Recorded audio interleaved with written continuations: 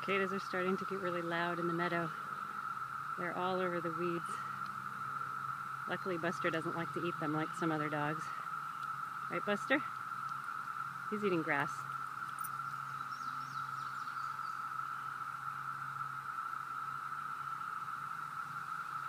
And they fly up into the trees. It's not even the peak yet. More cicada fun yet to come. Right, Buster?